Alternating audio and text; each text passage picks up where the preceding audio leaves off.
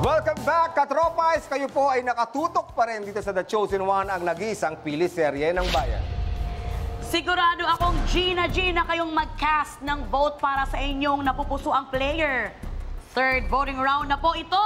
This is your last chance to save your favorite soap opera character. Reminder po ulit, kung nakaboto na kayo sa first two rounds, maaari pa rin kayong bumoto ngayon dito sa round 3. Bawat boto nyo sa kahit anumang round ay counted.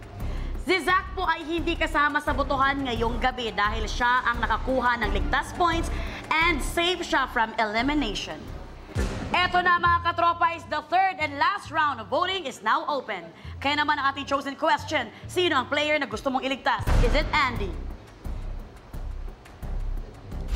How about Gab? Luke? Maxine? How about Rob? And Seham? Nasa iyo, katropay ang pili-pili power, kaya go na, boto na! Habang bumoboto kayo katropays, panoorin po natin muli ang best acting highlights ng ating mga natitirang players. Sana po ay makatulong ito sa inyong pagpili na pag-save ninyo from elimination sa ating mga ka-players. Kaya naman please, let's all watch this. Pero bakit pati tayo? Ano to? Damay-damay lang? Huwag kang mag-alala. We'll find a way. Trust me. Galing niya. Ako naman tong si Bobo. Lagi nila ako naisahan!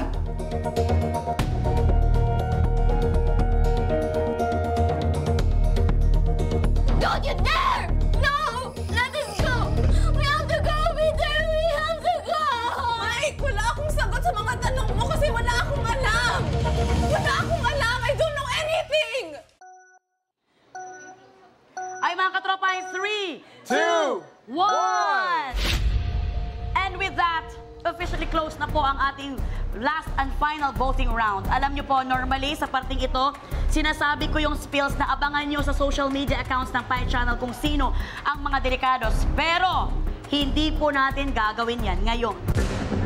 I suggest kumuha muna kayo ng tubig, uminom, umupo, huminga ng malalim o kung ano mang kailangan nyong gawin para maibaba ang blood pressure.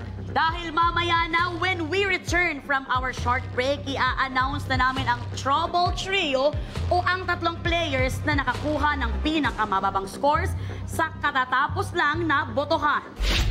Grabe ko, Jong. Grabe, kinakabahan ako.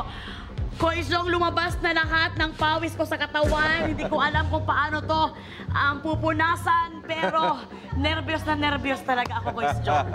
Siyempre, meron exciting kaya mga katropay kahit nahusto sa inyong mga kinauupuan saglit na saglit na hinintay na lang ang hintay na lang ang i-reveal na namin hindi lang ang Trouble Trio, kundi pati ang Chosen 5 o yung limang katropais na mananalo ng TIG 1,000 pesos. Kinakabahan na kami dito mga katropay. Agad-agad kasi ito.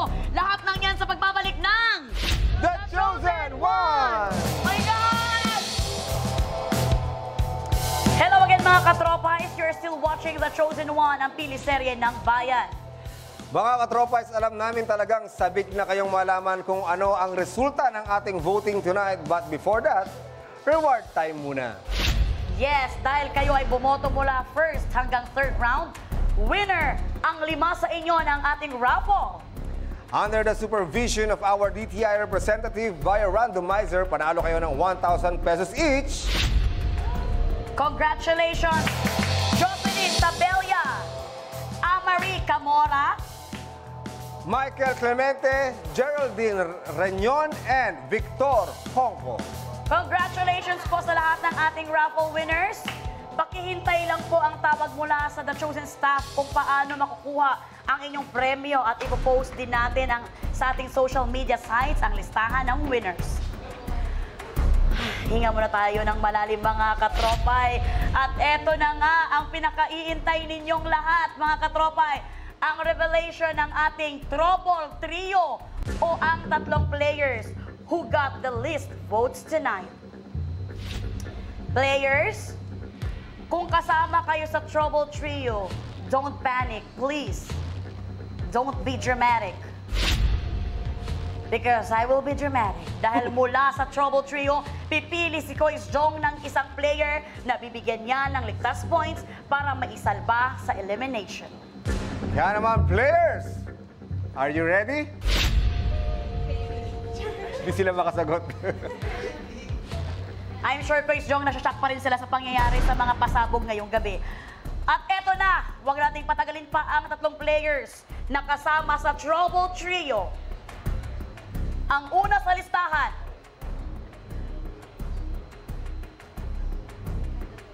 I'm very sorry, Luke. Ang pumangalawa,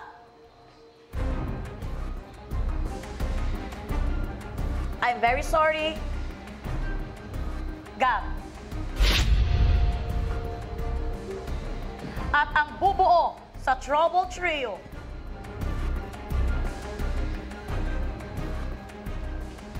I'm very sorry, Andy.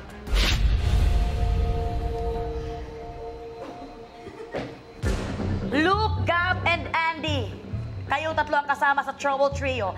Isa sa inyo ang maaring iligtas ni Kois Jong from elimination at ang dalawang hindi niya mapipili ang siya namang magiging delikados next episode. Kois Jong, bibigyan muna kita ng pagkakataong i-assess ang Trouble Trio at i-finalize ang iyong decision kung sino sa kanila ang bibigyan mo ng ligtas points. Okay, ah, itong tatlong to eh, talaga naman na nagpakita rin ng galing ngayong episode na to. No, talagang um, mahihirapan tayong pumili, pero syempre, kailangan natin na pag-isipan, no? Kung ano, sino talaga yung mabibigyan natin ng tsansa. Yes, Joyce Jong, bibigyan kita ng chance na pag-isipan ito ng mabuti. Ayan, habang pinag-iisipang mabuti ni Joyce Jong kung kanino niya ibibigay ang ligtas points. Huminga muna tayo ng malalim, pababain ang heart rate. Alam naming marami sa inyo ang araw-araw nag-aabang sa fresh offerings ng Behind the Serye ng The Chosen One. Nasaan ka man katropa ay mapapinas ka man o abroad, mapapanood nyo ang aming webisodes on our official YouTube channel na I Am Pi Official. Kaya naman siguraduhin lang na masubscribe kayo at hit the bell button para ma-notify ka agad pag may bagong webisode sa ating The Chosen One. At alam naming excited na kayo mga katropais sa mga ipapalabas naming webisode next week. Kaya naghanda kami ng maiksing teaser para sa inyo. Please watch this.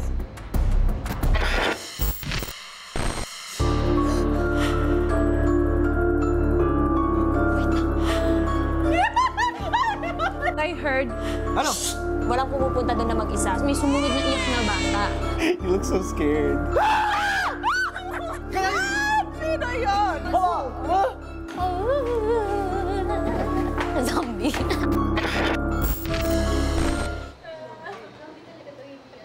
Ayan na mga katropay, oras na naman para muling pabilisin ang tibok ng inyong mga puso. I'm very sorry.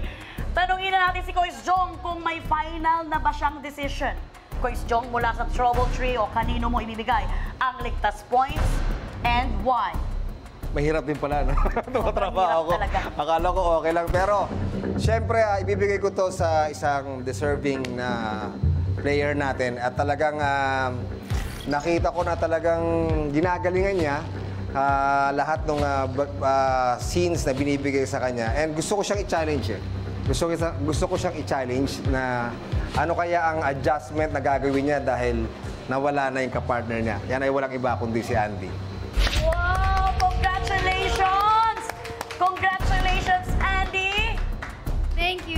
You, po. Congratulations, Andy! Ikaw ang napiling bigyan ng ligtas points ni Kois Jong. You are now safe from elimination. Ano gusto mong sabihin, Andy? Siyempre gusto ko po magpasalamat sa iyo, Quiz Jong. And to everyone who voted for me, thank you for giving me another chance to share the story of Rachel. Yun lang po. Thank you. Maraming salamat, Andy. Pwede ka na bumalik sa iyong upuan. At eto na naman tayo sa ating mga love teams. Luke and Gab. Dahil dalawa kayo sa may lowest votes tonight at hindi rin sa inyo na ibigay ni Kois Jong ang ligtas points, kayo ang delikados. Ibig sabihin nito, isa sa inyo ang ma-eliminate sa episode ng soap opera next Saturday. Okay lang? Kaya laban lang? Laban po. Speechless ang ating dalawang delikados mga katropay. Kaya naman mga katropay, nangako kami ng mas matinding labanan at yan nga mismo ang ibinigay namin sa inyo ngayong gabi. Pero katropais, promise namin na never namin hayaang bumaba ang intensity ng kompetisyon dito sa The Chosen One. In fact, sa next episode natin sa susunod na Sabado, may panibagong twist na naman na mangyayari. Grabe! Dito sa The Chosen One. Twist na naman ang twist.